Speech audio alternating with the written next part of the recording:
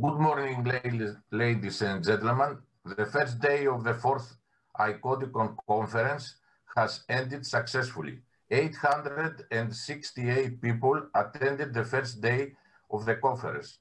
I would like to thank them all and uh, I hope that today's conference will be as successful as yesterday. Now we will begin with the first session and I would like uh, to invite Mr. Antonios Maniatis to present his work, his paper. Thank you, Mr. Chairman. And uh, this is uh, my presentation. Uh, uh, good morning. I would like to thank uh, both uh, chairpersons, Dr. Petropoulos and Dr. Kyriazopoulos, for this very interesting and meaningful academic event. Actually, I have composed a full paper having to do with an economic issue in the international context. So I'm going to present uh, a paper under the title uh, Egypt, Greece, and the law of the sea.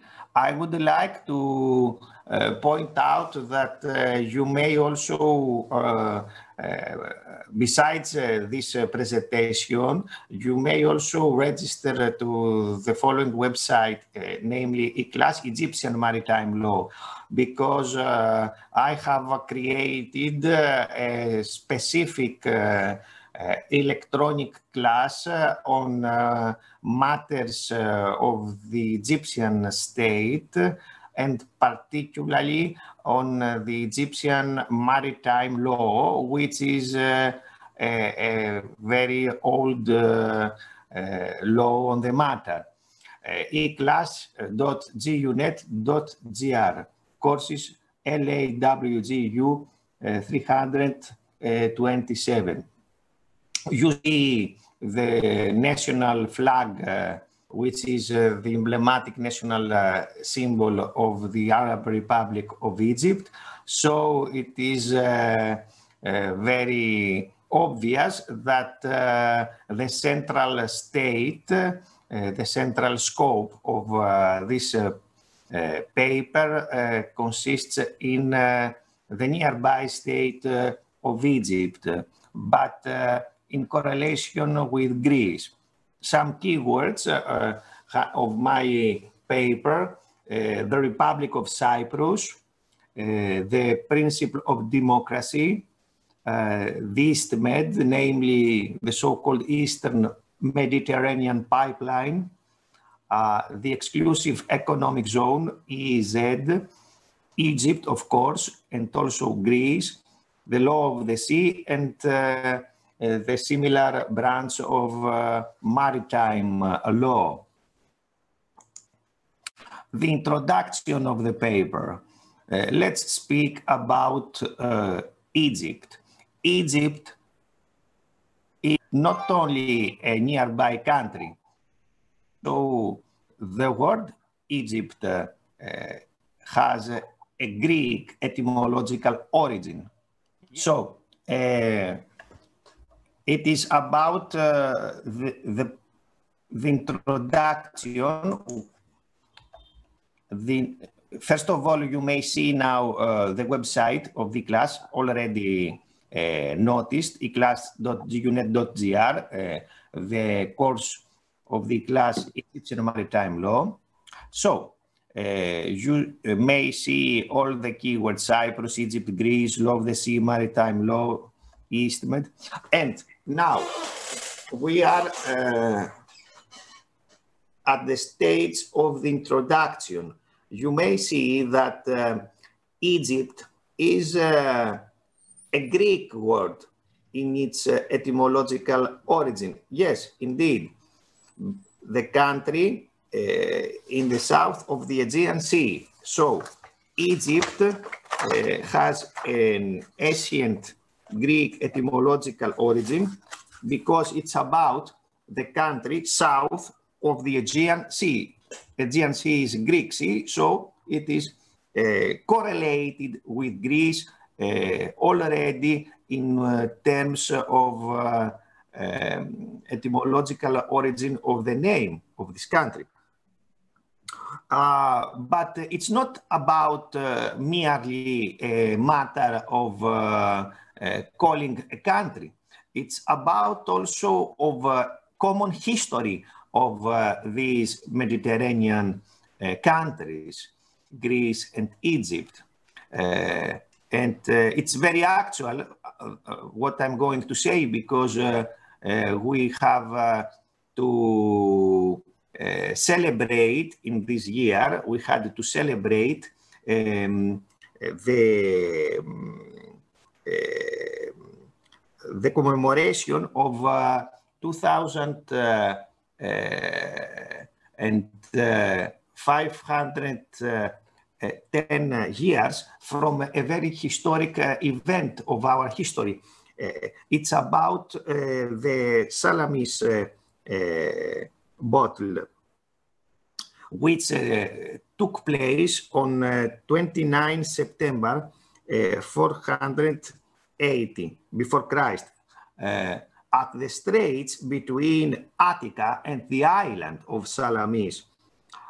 in that battle, Egyptian warships took part on behalf of Persians, of the Persian Empire in the Battle of Salamis, not on behalf of Greece.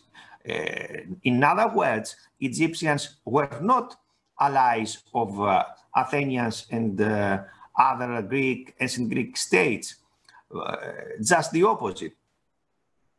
The Arab Republic of Egypt is actually is an independent coastal state of Africa, mainly of Africa, but also of Asia. It, it is a very big state with the sixth biggest world navy and the biggest one in the entire uh, uh continent of Africa. I would like to signalize that according to a survey, uh, to an international survey, um, uh, the military forces of Egypt, uh, uh, or uh, better, Egypt, on the basis of its military forces, is classified among the 10 uh, most important countries all over the world. Uh, Egypt is in the top 10 of uh, the best armies all over the world. Uh, nowadays. Uh, this paper uh, entitled Egypt, Greece, and the Law of the Sea introduces to Egypt in correlation to Greece upon the law of the sea. You may notice this uh, country, this very big country, nearby uh, Peloponnese and Greece uh, in the eastern, eastern region of Mediterranean, of the Mediterranean Sea, nearby uh, Cyprus, etc. Uh, it is a very big and important state uh, with a very big population of uh, um, so uh, you can see that uh, Greeks and Egyptians had uh, very important bonds, economic uh, and intellectual ones, and military ones uh, uh already uh, at the in the ancient times. So let's see uh, about the Egyptian maritime law. Egypt is a civil law country, namely not a common law country like uh, the UK, Australia, etc., but a civil law country, just like France and uh, uh, the other countries of Europe, uh, including Greece. So it has some similarities as far as its legal system is concerned with France, Greece, etc. Egypt is a civil law country with a well-established system of codified law. The most important legislation is the civil code. It has a civil code uh, and uh, uh, almost simultaneously Greece uh, acquired a civil law, uh, a civil law code, a civil code. Uh, in 1984, Egypt, and in 1946, uh, Greece. Uh, the first Egyptian maritime law is uh, quite uh, old, from the 19th century, and what what is the applicable law on shipping uh, nowadays in Egypt. Uh, it's about the maritime trade law number 8 of 1990, e.g. on marine insurance. So let's see uh, Egypt upon the Spitsbergen Treaty. Uh, the Spitsbergen Treaty is uh, not very known uh, here in Greece, but it's an international treaty having to do directly with Greece, uh, Egypt, uh, etc. It's about the 1980 Spitsbergen Treaty on the Svalbard archipelago. Uh, it was ratified by Egypt in September 1925 and uh, also by Greece in October 1925. So those coastal countries are endowed with a limited quasi-sovereignty on some important economic activities uh, in that area uh, of Europe, in that insular area, namely uh, the archipelago, the Svalbard archipelago. It is about fishery, hunting, mining activities, etc., in the Svalbard archipelago, which belongs to Norway. The treaty could be seen, according to me, the treaty, this treaty could be seen as a precursor of the Maritime Labour Convention, namely known MLC as for seafarers' right to relaxation and highlights the very well-known phenomenon of anthropomorphism of ships because it uh, uh, consecrates explicitly uh, the right of ships, not only of men, of ships uh, to relaxation in all ports of Svalbard. But where is Svalbard? Here it is, Svalbard. You can see here some, uh, it is about uh, uh, an insular region of, um, of Norway. it is a very, very cold uh, uh, region, uh, you can see a town. This town, Longyearbyen, is the unique town and the capital of this region, in which Egyptians and Greeks can can get involved with various activities, economic activities, uh, in uh, equal terms with uh, uh, citizens of Norway. Anyway, Egypt upon the law of the sea.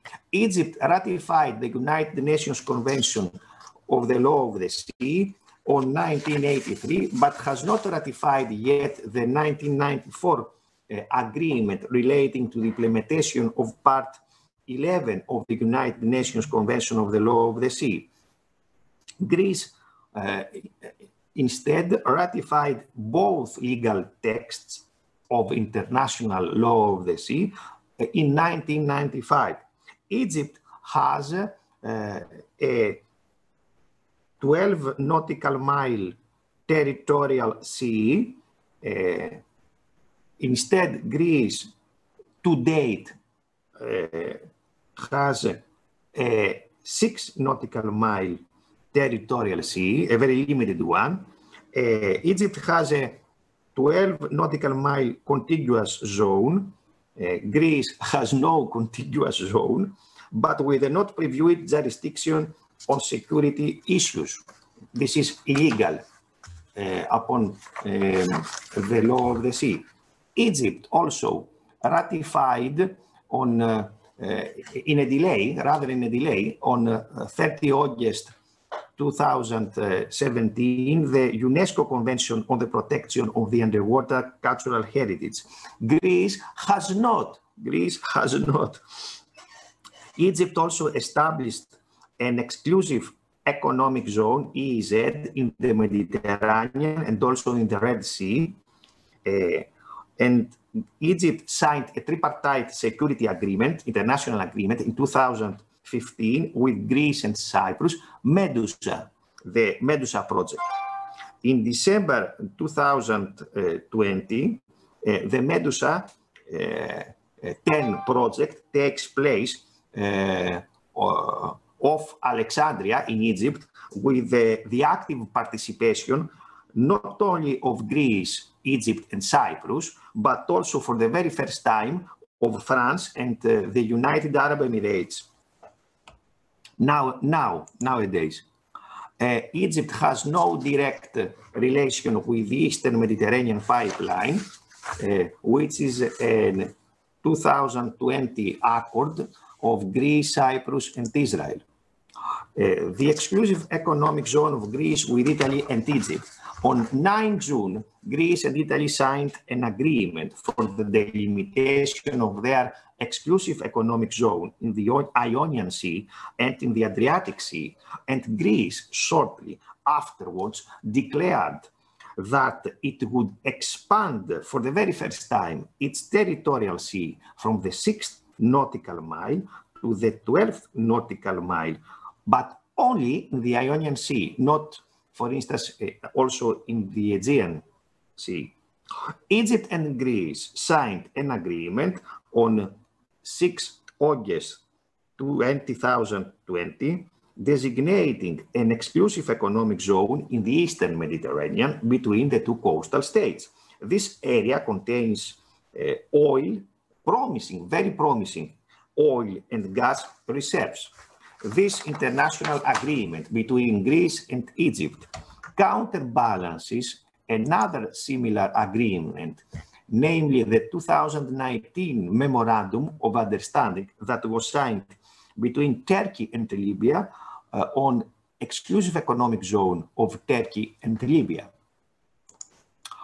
Uh, the Suez Canal, the Constantinople Convention respecting the free navigation of the Suez Canal of, uh, of, uh, of the 19th century has been the first treaty in the history of international law to declare the principle of freedom of use of a sea, of a sea canal by ships of all nations. Uh, it is about the rules of navigation, the so-called Egyptian rules of navigation, which are applicable nowadays on the Suez Canal, transit is allowed to all vessels of all nations subject to comply with the conditions stated in the preset rules of navigation. Similar is the case of the Panama Canal, uh, whilst the Canal of Nicaragua probably will not be constructed. It, it is a fiasco. The liberty of the Suez Canal ties in with the rule uh, of liberty at the high seas. Now, now you can see the conclusion, the final conclusion of my work. The first conclusion is that the freedom of the Suez Canal, uh, already noticed and analyzed, ties in with the rule of liberty, the general rule of liberty or at the high seas in general. Egypt is emblematic of the one century gradual tendency of liberalization of navigation in areas and zones different from the classical zone of high sea against the national sovereignty of the coastal state involved from uh, the 19th century till to 1982. This tendency is exemplified by the Suez Canal and the territorial waters of Svalbard as these areas have, of course, Egypt in common. This movement of liberalization went further in UNCLOS as for the international navigation straits with, first, the right to transit passage instead of the traditional right to innocent passage. And second, the eventual archipelagic sea lanes of archipelagic sea lanes passage, which is equivalent to the right to transit passage of a non-archipelagic state such as Egypt. Greece and Egypt should cooperate further, for instance, with their neighboring EZ, the Medusa Enterprise, etc. And uh, finally, you can see a photo. This photo has to do with uh, the Medusa 9 project, which took place uh, in uh, November 2019 with the participation of the three countries involved, namely Greece, Egypt, and Cyprus. Uh, as already said, these days, actually, the Medusa 10 project takes place with the active participation also of France and the United Arab Emirates. Uh, thank you for your uh, attention.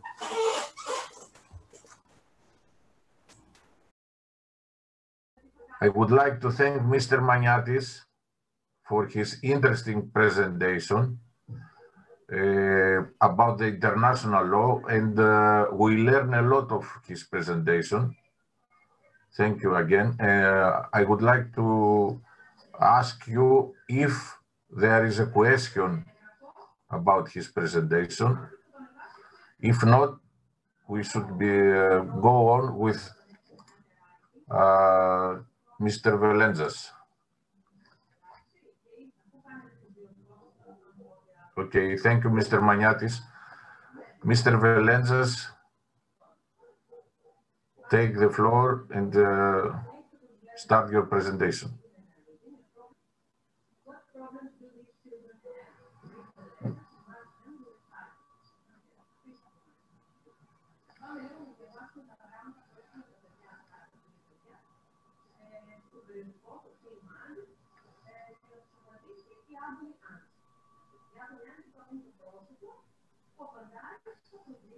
Με ακούτε?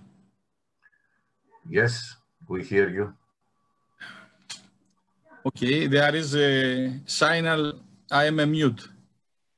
Uh, corporate governance and the internal control, the auditor's communication according to ISA, international standards on auditing.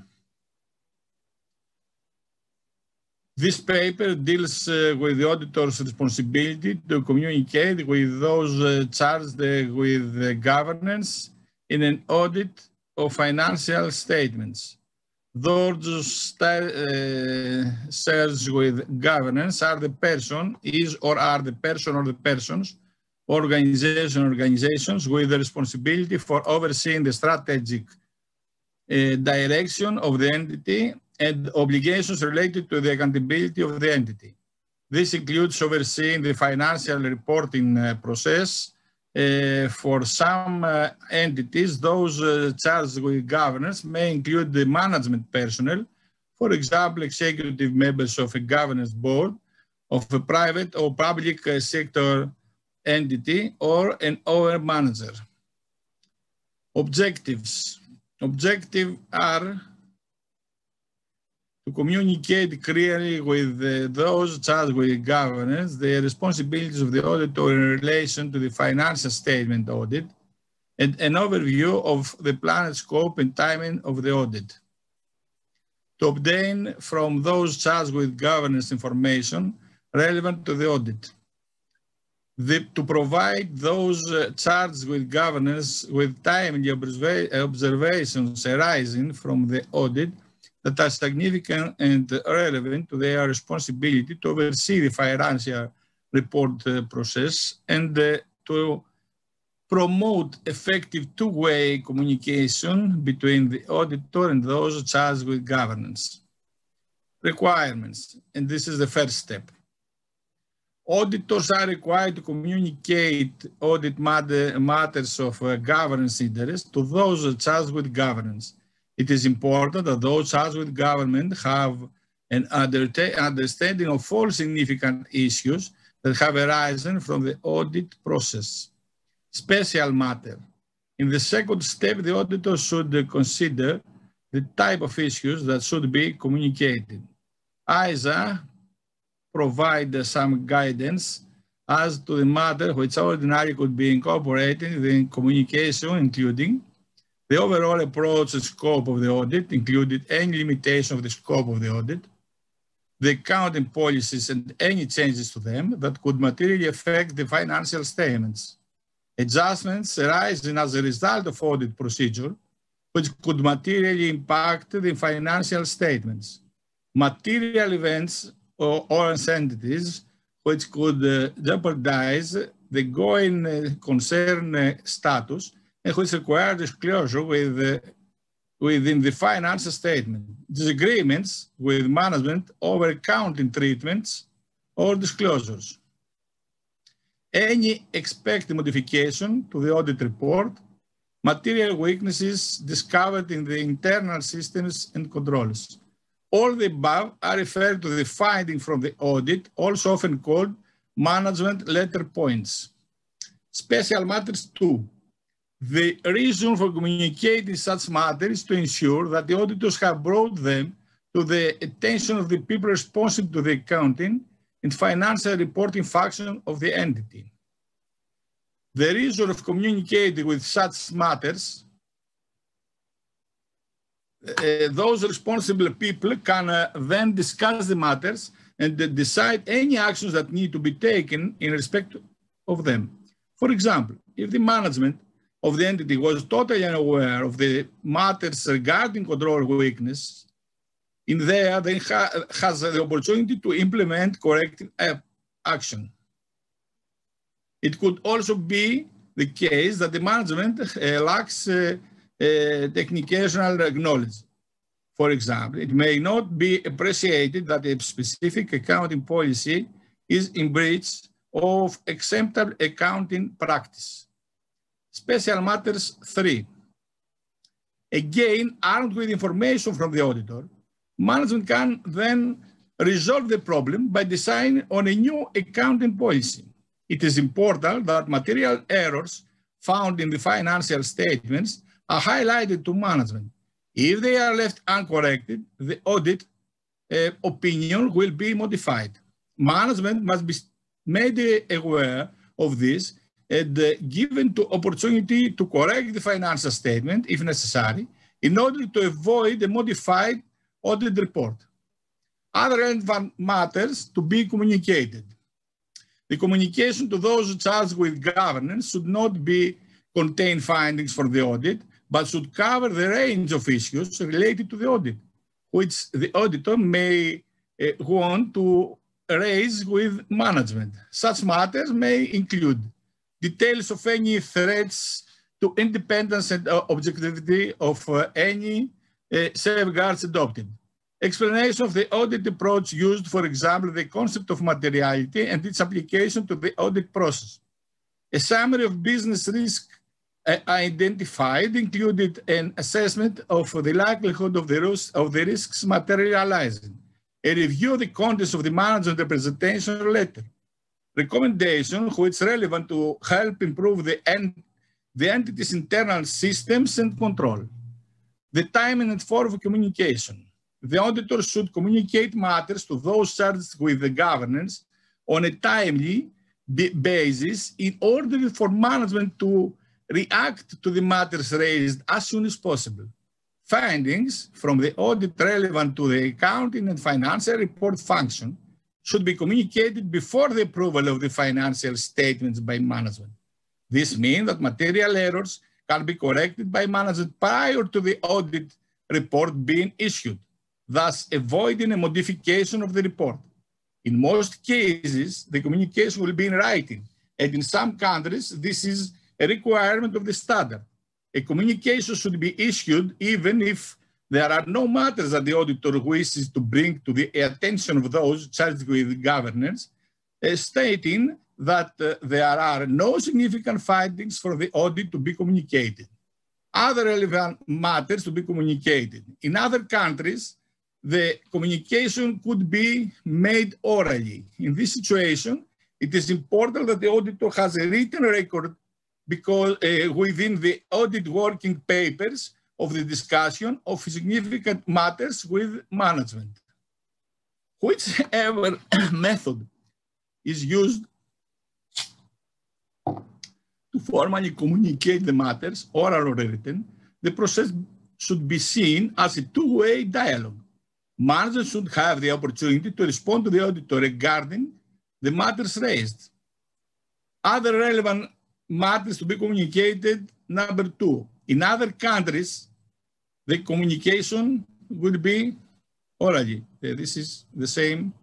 And we have the, the epilogue the conclusion, the communication with those charged with governance should be viewed as a crucial report output of the audit.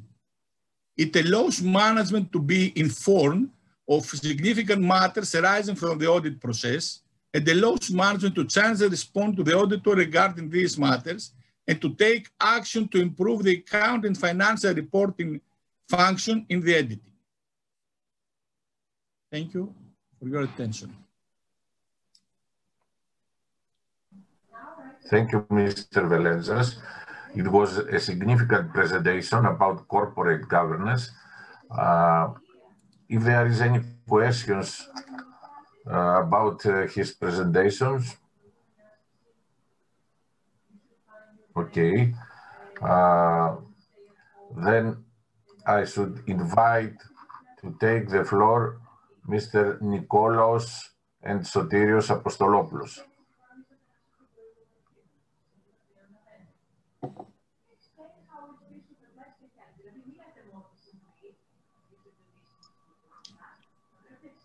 Thank you very much.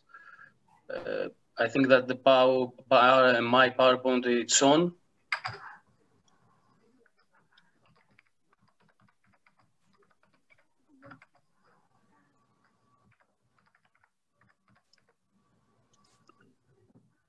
Uh, can you see my PowerPoint? Yes. Okay. Thank you very much. My name is uh, Sotiris Apostolopoulos this uh, study uh, is uh, refer, refers tracing key aspects of health enterprises in the European rural areas.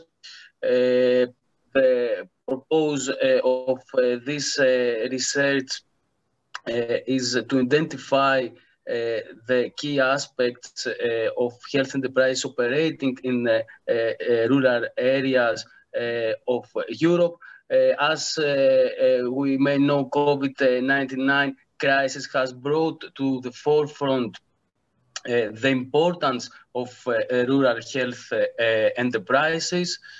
this paper aims to undertake a literature review um, regarding to rural health areas in uh, the European uh, Union, uh, identify research gaps, and set uh, future research directions.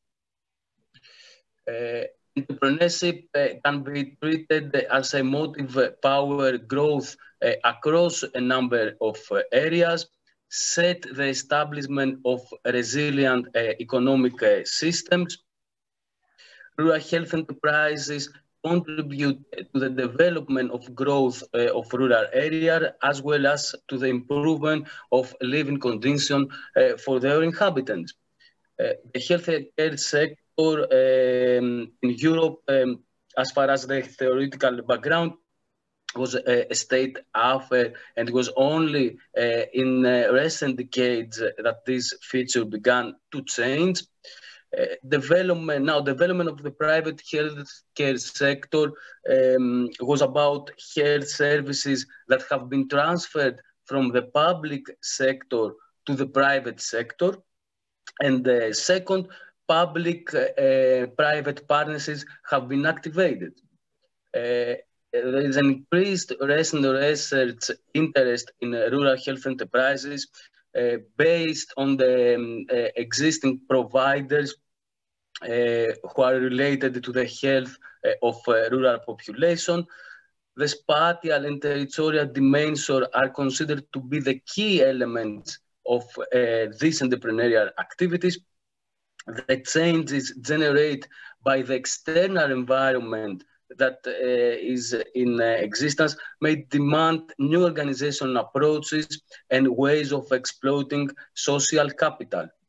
The European Union has promoted and came and still does that which focused on enhancing economic and social cohesion, which includes the development and support of entrepreneurial activities to address the problems of uh, the inhabitants of uh, remote and uh, the other disadvantaged areas like uh, some of uh, mountainous areas of uh, the European Union. the European Union has also financially supported innovative games relating to healthcare in mountain areas whose sustainability is based uh, on social entrepreneurship. Uh, some of um, the key aspects of uh, social entrepreneurship we will talk um, in um, later in this presentation. Uh, so uh, our uh, metho methodology was based on the existing research relating to rural health enterprises provides limited studies aiming at uh, producing a high quality literature review uh, with articles investigated here are extracted only from peer uh, reviewed journals. This is a way to create a safety net which excludes the exploiting of sanctioned uh, studies uh, of course, only papers uh, referring uh, to rural European contexts uh, were selected, uh, and also uh, articles with strong focus on rural dimension um, were featured in this study. 68 papers examined. we categorized these papers in four thematic uh, analysis, uh, in four thematic categories, uh, healthcare sector uh, between rural and metropolitan areas, the rural health enterprises in relation to development. Uh, third was uh, the rural health enterprises in relation to the living conditions of the inhabitants. And fourth and final um, category, uh, the social health enterprises of the rural areas in relation to uh, their operation. Uh, so our findings has based on rural health enterprises have research gaps in aspects such as their potential, their necessity, and their differentiation from uh, the metropolitan areas. Uh, research gaps also identified uh, as far as the relation between these enterprises and the community, and of course their inhabitants, and how much um, these enterprises contribute uh, to local uh, development, um, a basic uh, theme. Divisions found between urban and rural areas um, when uh, we tried to identify the differentiations um, uh, rural versus uh, metropolitan areas uh, in the UK with regard to the quality of the broadband connection services, a factor that can negatively uh, affect several sectors, including health and education. Also, disparities identified in the quality of uh, Eurozone related healthcare which emerged in uh, rural and remote areas. Uh, now we have uh, in these papers, uh, we found uh, various opinions about the metropolitan and rural areas as far as the healthcare um, provision. So uh, primary health care is almost the same uh, in metropolitan and rural areas um, according to ADA on 2000 and told in 2001. Um, this is not um, uh, Holbein Toll in 2015 disagreed and the point that there is uh, unease in the rural healthcare since fewer healthcare providers seek work in uh, rural areas. Uh, there is a lack of uh, healthcare providers and therefore healthcare enterprises in non-metropolitan areas with a parallel quality gap in health uh, services and of course uh, accessibility. it is conducted that the ability to success to successfully access um, in healthcare in the short term uh, and without sustained effort, it's not the same uh, in rural uh, as it in, in urban areas um, and metropolitan areas. Farmer et al. in 2006 showed that the health services do not only depend on how remote areas are, but they are also highly influenced by the slow formation of regional medical knowledge and the information flow uh, two basic categories that uh, it's um, necessary for uh, healthcare um, professionals and uh, health uh, enterprises uh, with their services to operate. introduction of health enterprises is positively related to local and regional economic development, and it can possibly compensate for the inefficiencies that may arise in uh, non-metropolitan areas. Um, it is concluded that uh, the direction effects of running, uh, direct effects of running a business have a significant impact on regional growth. And uh, of course, uh, as uh, we're exploring a lot of papers, we found that the relationship exists between supply and diffusion across neighboring and remote areas. And this relation is uh, that contributes uh, to overall economic regional development. Uh, uh among uh, other findings, uh, should be set for the disadvantaged areas are to become able to attractive investments and to increase employment and small uh, health businesses generate significant uh, economic benefits uh, for communities. health services support the social fabric of rural communities and contribute to the sustainability of the community. And uh, there is access, the contribu contribution of uh, health professionals to the sustainability of rural community. In the UK, as uh, Farmer et al. in 2003 uh, conducted that the, even through the contribution of health services is significant, it is often disregarded.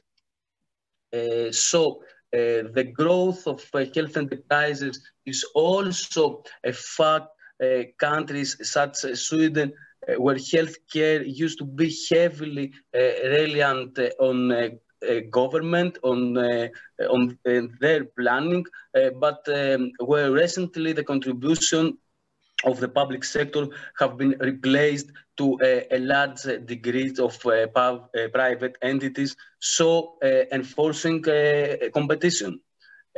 in any case, the sustainability development of non-metropolitan areas requires a healthy workforce that uh, uh, it's uh, for their need and they can access at low cost and local health system. a strong research interest exists with regard the degree of integration between uh, social enterprises uh, of rural areas and the local uh, community and with regard the way that these uh, enterprises uh, uh, can operate, support the community resilience and concerning their contribution to the development of rural communities. Of course, health practitioners uh, in, uh, of Scottish rural areas developed several communities action. Uh, it was identified uh, and the network that benefit uh, the residents um, uh, the inhabitants' health conditions and supported the resilience of communities. the literature review also reveals further research in three emerging areas. The first uh, is uh, uh, the rulers that health enterprises uh, versus health enterprises in metropolitan uh, areas, rural health enterprises in relation to development, and the third, rural health enterprises in relation to the community and the rural uh, residents' quality of life. Uh, future research avenues was based on the absence of research work of the role of uh, health enterprises in the development of uh, rural areas of many countries. So this means that we are not uh, provided with comparative data on the contribution of healthcare providers to the growth and development in these um, countries. the literature review also reveals, ah, this was, sorry, um, so the conclusion of uh, this uh, study, among others.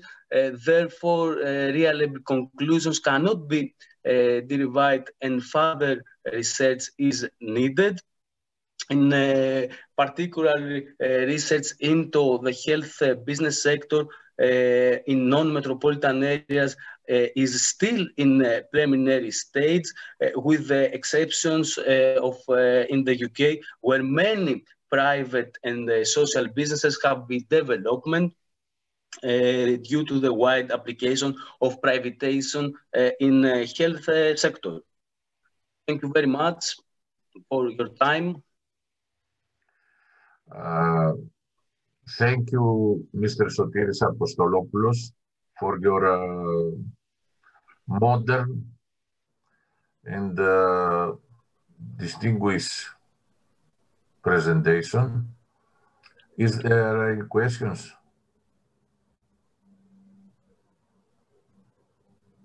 No. Okay.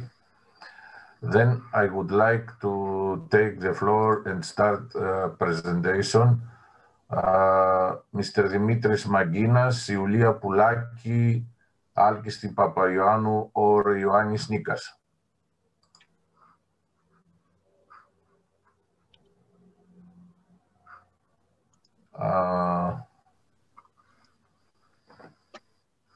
Mrs. Alkistis Papaioannou, you may start your presentation. Can you hear me? Uh, I can hear you. Uh, do you hear me? Yes, now yes. Okay, thank you. Mm. Can you see my PowerPoint? Yes. Okay. Uh, Good morning. I would like to thank you all. Uh, I will present uh, a part of uh, a master thesis that was conducted in Hellenic Open University by Mr. Maginas Dimitris, um, entitled An Evaluation of Customer Relationship Management Through Social Media in Aegean Airlines.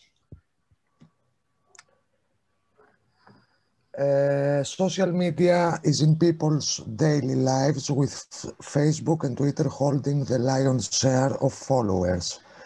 Important sectors that have rapid growth and development are marketing, advertising, and customer service through social media. Airlines are one of the tourism sectors that is not unaffected by this development.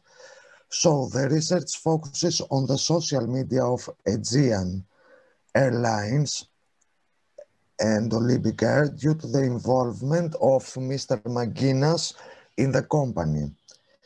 Uh, the, the, contribution of uh, Mr. Maginas through observation of social media and the uh, of research through observation of social media and um, Mr. Maginas' communication with the aviation customer service department is the understanding of the aviation management of the large volume of data and their subsequent use for the better performance of the communication and marketing sector of the company.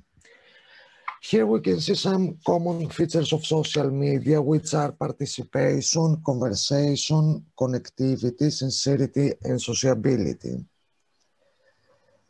Platforms can be added to numerous marketing activities such as customer management, customer service, marketing research, and sales promotion channels. The most common characteristics of social media are that uh, they are specific, measurable, active, realistic, and on time. Customer service from social media takes another form through systems that work together for the best result. And here we can see uh, these systems. and how they work together. Due to the specialized nature of airlines, social media is a tool that airlines achieve better categorization than gathering over the internet through analytic tools.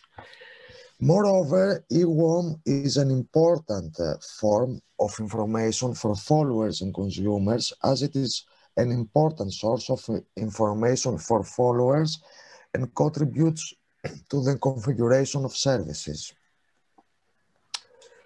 Referring to our methodology, uh, in this research, uh, there were there were used first of all the observation of the common features of social media from websites and social uh, networking platforms operated by Aegean Airlines, sampling by social media of Greek airlines, quality research through inquiries to Aegean Airlines Customer Service Department, qualitative analysis of all the above data extracted and the statistical data provided confidentially by the customer service department. Um, Aegean Airlines social uh, media. Uh, as we can see in this slide, uh, in uh, the year um, 2008, Aegean Airlines created a profile on Facebook. From 2010 was active in the fields of customer service and marketing on Facebook, uh, Twitter and YouTube. In the year 2013, Aegean Airlines and Olympic Air were merged into one company and extending their action as well as they actively participated in uh, the social media. Um, here we can see some common features uh, or social media in the case of social media in the case of Aegean Airlines.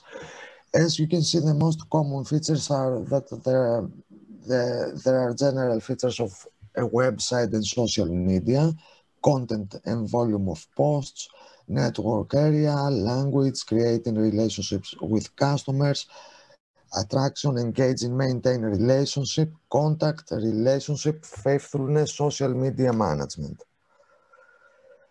Um, referring to the sampling from the social media of the Greek uh, airlines, um, here we can see um, four, four uh, airlines uh, companies. The criteria in which the sample was selected is the existence uh, of an official website and the existence of a company profile on at least two social media. The data is presented in this uh, table. It is worth noting that uh, the social media in which all companies are active, as we can see, is Facebook, in terms of the total number of followers, Instagram is in second place, followed by Twitter with 25,000 fewer followers. Instagram posts are 96% compared to other social media. This is due to the nature of the platform, which is uh, uh, primarily based on user posts. It is also observed that the number of followers is proportional to the size of each airline.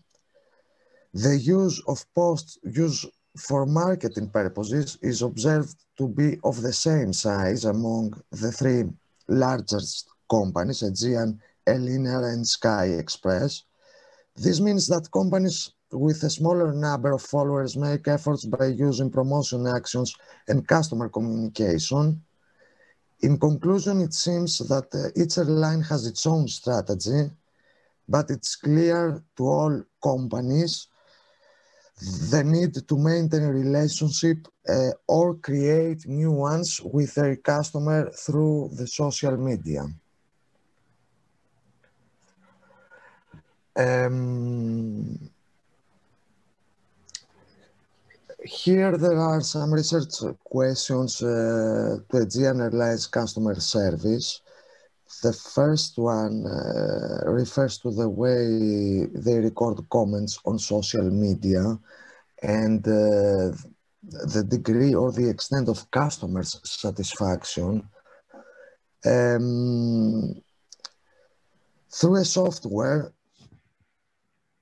a channel is created in which uh, all uh, the questions needs the questions and needs of uh, the followers are transferred from all the social media and categorized by the company Conversocial, uh, which is a social customer service software provider. Uh, through this software system for Aegean uh, and Olympic, all requests and comments of the customers answered by specialized staff of the company. Um, this software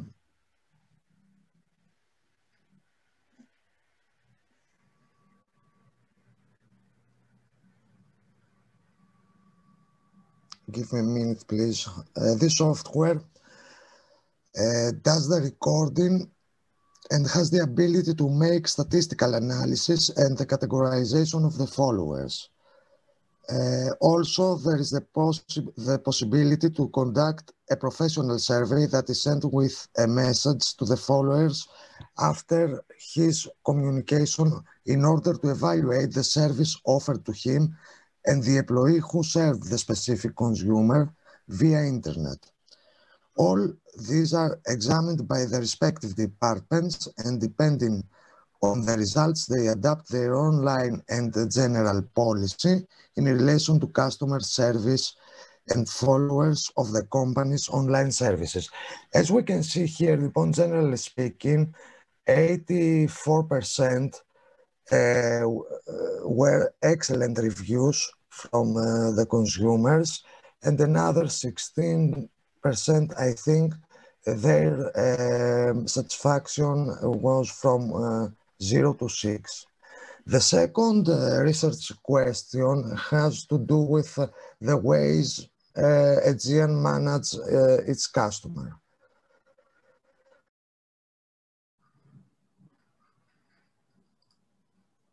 department so that the interested party can get a detailed answer. The software also has the ability to separate the urgent from the less urgent issues that arose. Um, the third uh, research question uh, is, uh, has to do with the reasons for passenger communication with airline through social media. We can see that their communication is referring to as first point of contact, uh, which uh, it is immediacy, zero cost, immediate information, quick finding of, of information. And the last point of contact, last hope to get what they want. Uh, the fourth research questions has to has to question has has to do with the categorization uh, of the followers. We can see the general categories: families, youth, air, airplane lovers, business people. Uh, for the Twitter in businessmen and trolls, and the last uh, research question has to do with uh, consumer behavior in relation to social media and its activities. Um, generally speaking, it varies from person to person. Uh, the active followers in dialogue, some of the followers are active followers or mere observers of events or little active, and uh, the behavior is an, uh, an unpredictable uh, thing. The qualitative analysis of results. Um, as you can excuse see. Me, excuse me, um, Mrs. Mm -hmm. uh, we can see your presentation. Uh, I am in full screen. Uh, yes, but there was a problem. Okay. Can you share it again? Give me a minute. Yes, yes, yes. Okay. Thank you.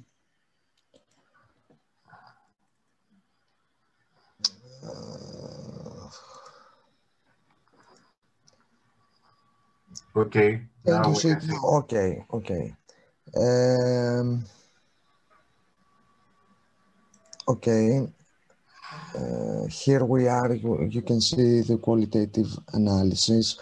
Um, as we can see in the table, um, for the year uh, 2018, 67,000 followers were registered on Facebook for Aegean and 33,000 uh, and 330,000 for Olympic, while on Twitter, um, 72.6 thousand for Aegean and uh, 14.6 thousand for Olympic. In the year 2019, uh, the followers increased to uh, 700,000 um, on Facebook for Aegean and to 330.5 thousand for Olympic as in the same year on Twitter the followers of Aegean reached uh, 75.5 thousand and Olympic to uh, 15.3 thousand respectively. For the current year 2020 the configuration of the followers is almost at the same levels as the recording registration of 2009 with a slightly increased tendency of followers. Uh, in the year 2019, the communications recorded by social media were more than 150,000 with a, a 70% increase compared to the previous year. The responses from the social media in the year 2019 were more than 50,000 and increased by 30% compared to the previous year.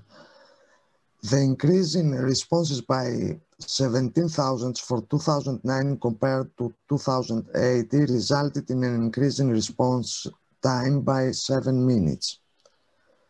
The incoming messages to be served had a huge increase in the year 2009 of 80% from 95,000 to 170,000. The result was an increase in total message management time of about 54%. For the comparable years 2080 and 2090, 2080, the largest, the largest increase in incoming messages to the customer service department observed at the beginning of August for, for 2080, while 2090 to a much greater degree is transferred to the end uh, of August. Increased tendencies are observed during the Christmas and Easter time in the year 2018. except August and December, the total number of incoming messages did not exceed 50 messages per day. In contrast, in, uh, increased tendencies are observed during the Christmas, uh, uh I'm sorry, uh, number incoming messages with an increased 1,030% um, in uh, messages, comments, and instant messages in 2009. Um, increased tendencies are observed during the, the, Christmas and Easter. In the year um, 2080, except August and December, the total number of incoming messages did not exceed 50 100 messages per day. In contrast, in the year 2090, between the period June and October, the number of messages exceeded 500 messages, reaching three times the number of messages at the beginning of September. In the dis distribution of incoming personal messages, comments, and distant messages, there seems to be a huge difference between the aforementioned years with 2090 recording an increase of 130%. Um, uh, uh, referring to the categorization of incoming messages related to emotion, as we can see, um, two thirds of them were neutral and the other was negative and positive. There are the same levels for the two years the largest flow of incoming messages occurs at noon, um, 12 to 4 p.m., while smallest at uh, 11 to 8 a.m. Increased by 60% in 2009 during peak hours. In percentage analysis, the communications with airlines from the social media are analyzed as follows and mainly uh, concern the following issues 70% marketing actions, 5% offers, and another 5% packages. Um, from the observation of the common characteristics of uh, the social media of the company, it is concluded that the company mainly uses the possibilities provided by it for marketing purposes. From the data collected, it can be seen that all Greek airlines are focusing on publishing promotions. Immediate responses through social media is a way to attract more followers and customers. Consumer categorization helps the company make more targeted promotions and enhance marketing.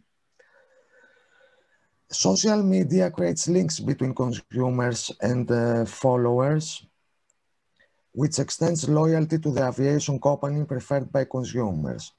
Consumers recognize Facebook and Twitter as a cost-effective customer service tool that can be served almost instantly. The company aims to the most direct relationship with the consumer and is more interactive with followers who are dedicated and frequent visitors. In the, in the comparison of the data taken from the sampling from the social media of the Greek airlines, it is conducted that the smaller companies try to gain some market share by focusing their actions on the posting of publications. Um, Finally, the tendency to serve through social media is growing daily and in theory will continue to grow. The younger generations of passengers and passengers will be served to a much greater extent by social media. Um, some um, um, some propositions for further uh, research. The study focused on some key elements of customer service and customer management through the social media. In the future, the customers and followers satisfaction or the timely prediction of their loss could be investigated to a greater extent. There could be also there could also be a study to investigate the development of new strategies such as marketing automation from social media in airlines. In addition, it would be interesting to investigate the implications, risk, and opportunities arising from the growing use and influence of the internet and social media in customer relationships. It would be worth studying the implementation of CRM in more depth, but also in different areas of tourism sector, such as travel agencies or hospitality industry. Thank you very much for your attention. Uh, thank you very much, uh, Mr. Saliki Papaioannou, Uh, it was a very interesting uh, presentation with significant uh, results. Uh, are there any questions? I have one question. Okay. Uh, this conversual uh, sorry, conven, Conversocial software yeah. yes. can measure the satisfaction uh, of the staff uh, between mergers and acquisitions and after after this? Um, uh, of the staff of the I don't know that it was customer satisfaction uh, only customer satisfaction. Customer satisfaction. It is. Um, okay. Um, uh, we have a, a, merger or an acquisition, and uh, we can uh, measure the customer of this company, the new company. Yeah. satisfaction. Yeah. Through the software, through the software of Conversocial. Is it, uh, free? This software? Is it free? I don't think so. I don't know. No, it's uh, uh, Aegean has the software. It's a software provider, Conversocial. Uh-huh. It's a social provider, so uh, they paid. Uh, they pay for it. wait for it. Okay, thank you very much. Thank you. Uh, okay, now I would like to invite Metsiou Anastasia to take uh, the floor and start presentation.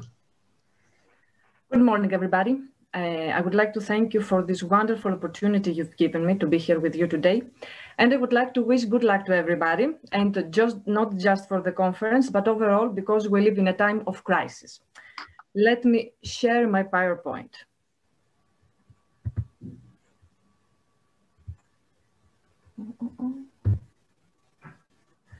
Well, as uh, I searched through the various themes uh, of the conference, I came along business ethics. And as a theoretical mind, I decided to make a paper of that.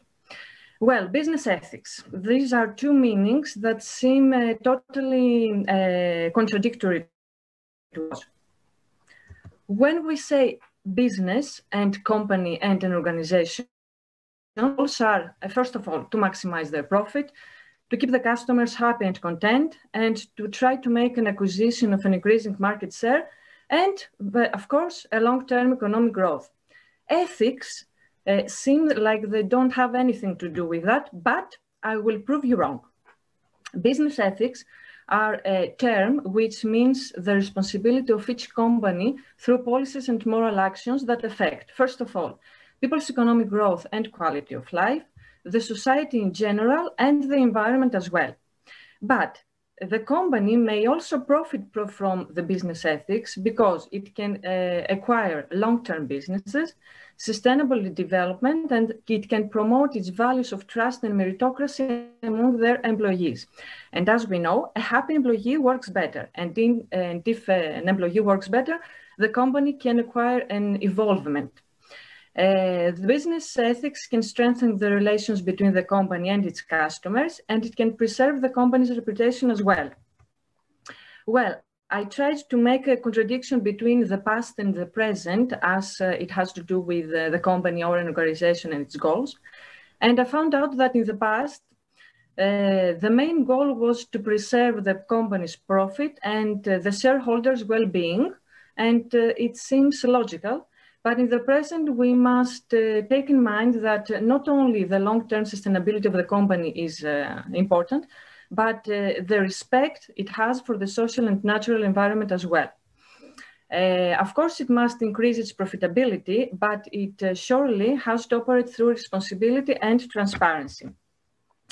Uh, in my research, I tried to find many case studies that show how business ethics can help us overcome times of crisis, uh, as the one we live in today.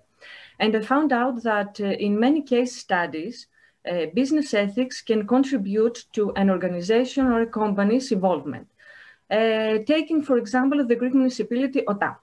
Strong ethics uh, can manage the environmental impact and promote the local economy and local jobs it can promote the active citizenship, something that is quite important uh, if you consider that uh, uh people uh, no longer uh, work together. And uh, business ethics in Greek municipalities can support the local community as well. I've come across another case study which has to do with our telecommunications and the companies Cosmote and Vodafone. they firstly try to improve their code of ethics and uh, that uh, means the safer use of mobile phones, and especially for children, that is quite important.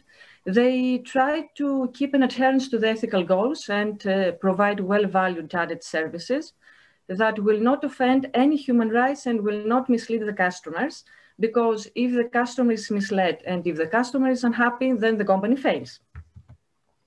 I've come across an international uh, case study, Microsoft, that commits to ethical business practices and complies to regulatory. And it has a moral obligation to the company, not only uh, the employers, uh, not only the employees, but the company as well.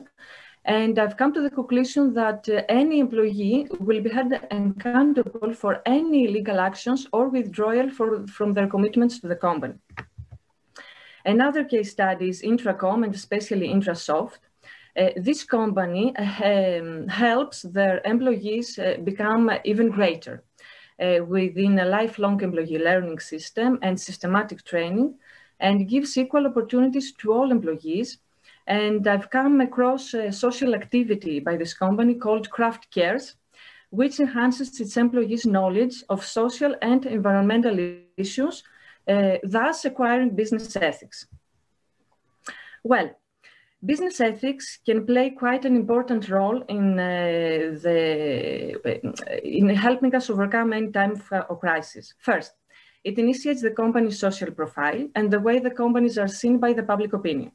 Secondly, it helps the companies impose a positive impact to the environment as well as the local economy, and thus achieve the commonwealth. It can improve everyday life for every one of us and promote their overall well-being and excellence. Well, as a conclusion, I might say that business ethics can ensure the well-being and cooperation of the company and its employees and its customers as well. And uh, that leads to a successful business. Uh, business ethics can assess the company's reliability towards its staff and customers and prevail the common good and can enhance the relationship amongst people as well. Thus, help the company overcome all difficulties and crises. And as a conclusion, let us take into consideration that non omnic vid licet honestum est, meaning that not everything that is allowed is moral, and we must think everything most thoroughly. Thank you very much for your attention. Uh, thank you, Mrs. Metsiou Anastasia, for your enlightening presentation. Uh, is there any questions? Question? No. Uh, yes, uh, please. Uh, I would like to make a question. Yes. First of all, uh, it is a very interesting and very actual topic, uh, as you have said, uh, especially in the current um, context of the pandemic and the mm. crisis. Congratulations. I would like to make you the following question. Mm. do you think that um, there are uh, essential uh, differences uh, on business ethics of a public service or um, a, public enterprise and from one hand and from the other hand uh, uh, of a private enterprise? Well, business ethics has to do with the people. It hasn't to do with the company, even the company's uh, uh, in the private sector or in the, um, um, the Greek sector. Uh, it has to do with the, uh, the th if you want to, to, overcome any crisis, you must uh, first of all take into account that uh, ethics is a quite important uh, thing of our everyday life. Not a company, not an organization, but people overall. So we must be moral, first of all, and ethical. That's my opinion. And we can overcome every crisis in our everyday, everyday life, and we have many of them. Okay, thank you, Ms. Um, Anastasia Metsiou. Thank you very much. Uh, thank you all for your presentation, and I hope I'll see your full paper in the proper time so as to be published in our proceedings. Thank you very much again. Good luck. Good luck. Okay, thank you.